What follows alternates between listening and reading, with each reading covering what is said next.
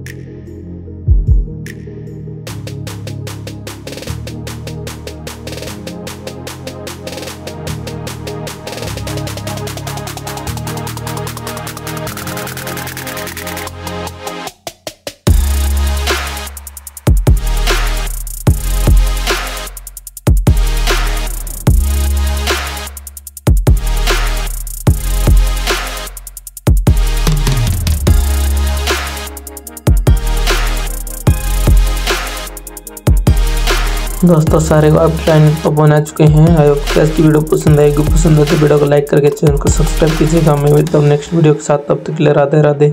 और ये देख सकते हैं फाइनल ड्राइंग